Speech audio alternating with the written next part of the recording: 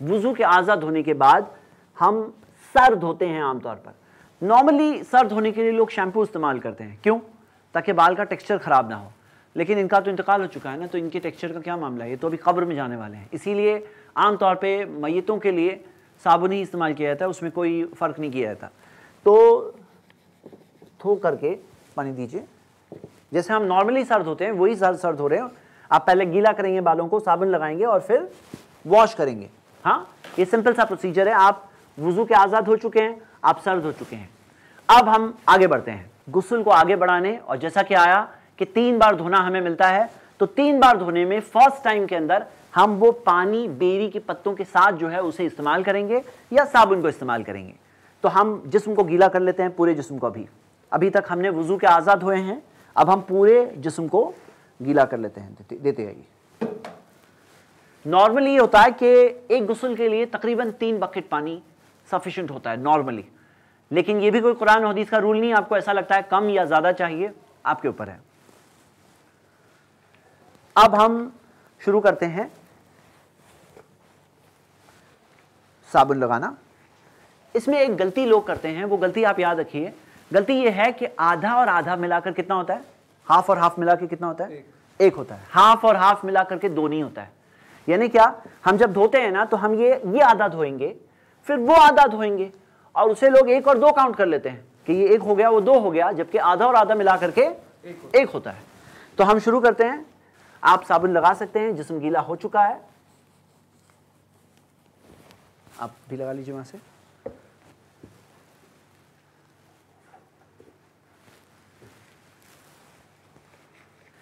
जिसम पर साबुन लगाने के बाद उनके जिस्म और आपके हाथ के बीच में आमतौर पे ये वॉशिंग का कपड़ा होता है। आप पानी डालते रहिए।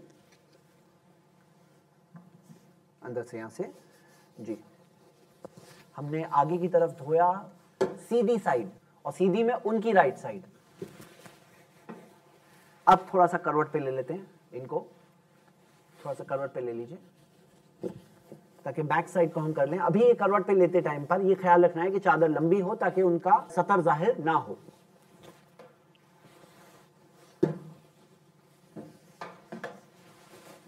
इसी तरह आपने जो सीधी जानब धोए, जिस तरह से आपने बॉडी की राइट साइड सीधी साइड वॉश किया है, धोया है, उसी तरह से आपको उल्टी साइड लेफ़्ट साइड को धोना है। तो हाफ़ और हाफ़ मिला करके एक गुसल हुआ। दूसरे गुसल के अंदर आप चाहते हैं फिर से साबुन लगाएँ, लगा लीजिए, कोई ऐसा कोई रूल नहीं है। आप चाहते हैं कि नहीं, सीधा पानी का वॉश कर लें और काफ़ी हो गया, कर सकते हैं। और इसके अंदर दो बार धोने के बाद, मैं धो रहा नहीं हूँ क्योंकि आप सब जानते हैं वो तरीका वही है जैसे हम नॉर्मली गुसल लेते हैं। अब हम आते हैं तीसरे गुसल की तरफ़। अगर आपका तीसरा गुसल आखिरी गुसल है तो उस गुसल के अंदर सही बुखारी की हदीस है, अल्लाह के रसूल सल्लल्लाहु अलैहि वसल्लम ने फरमाया, वजअलना फिल आखिरती काफूरन। काफूर दीजिए। आखिरी बार में, आखिरी गुसल में काफूर डालने नबी वसल्लम ने कहा और शय मिनल काफूर या कुछ हिस्सा काफूर का। नॉर्मली ये एक पैकेट जो होता है, ये जो नॉर्मल सेट के अंदर कभी कहीं डब्बी आती है, कभी इस तरह के पाउच आते हैं। पाउच में हमने जो सेट लिया है, इसमें दो पाउच आए हैं। ये होता है एक जनाजे के लिए। तो इसके अंदर आपको ये करना है, फिल आखिरती, हदीस के अल्फाज क्या है? आखिरी बार में काफूर डालने कहा गया है। इस बारे में उलमा में इख्तलाफ है। बाज़ उलमा ये भी कहते हैं कि नहीं, जिसम पे काफूर डाल दो डायरेक्टली लेकिन हदीस के अल्फाज पर हम अगर गौर करते हैं तो हम ये देखते हैं कि फिल आखिरती, आखिरी गुसल में जो कहा गया, इसी वजह से जो उलमा ये कहते हैं कि पानी के अंदर ही काफूर डालना है। वो ज़्यादा मज़बूत बात है। अच्छा ये काफूर के ताल्लुक से ये जो आपके पास होगा, इसे आप थोड़ा सा प्रेशर लगाएँगे, दबाएँगे तो आप देख रहे हैं ये ये बिल्कुल भूसा हो जाता है। आप इसे पानी में डाल दीजिए, मैं थोड़ा ऊपर से डाल रहा हूँ ताकि आपको दिखाई दे, लेकिन इतना ऊपर से डालने की ज़रूरत नहीं, आप नीचे जाके भी कर सकते हैं। तो मतलब इसे बिल्कुल भूसा बना करके पानी में डाल दीजिए। एक बात मैं बता दूँ, जैसे पानी में जब नमक डाला जाता है तो नमक जिस तरह से घुल जाता है, उस तरह से काफूर घुलता नहीं है। उसके ग्रैन्यूल्स जैसे बाकी रहते हैं। इसी वजह से जब आप पानी दोगे, हमने ये समझ लीजिए कि पूरा डाल दिया। समझ लीजिए कि पूरा डाल दिया। अब आप जो पानी देंगे तो पानी देने में ये आपको ख्याल रखना है कि नीचे से थोड़ा सा अच्छे से दीजिए ताकि काफूर साथ में आए। हाँ? और वो काफूर जो आया है, अब मैं जब इनके जिस्म पर डालूँगा तो वो काफूर उनके जिस्म पर जाकर बाकी रहेगा। और यही तरीका है।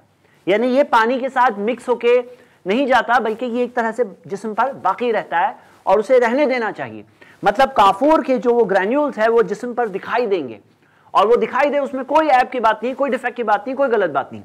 तो ये आखिरी बार में ये काफूर, जब हम पानी डालते हैं तो पानी के साथ में आएगा और जिसम पर बाकी रहेगा और उसमें कोई हर्ज नहीं है। तो पानी ये दे रहे हैं और आप ये आखिरी बार में डाल रहे हैं। हम फिर से आगे पीछे जिस तरह से करना है, करवट पे लेकर, और मैं राइट करवट बता रहा हूँ।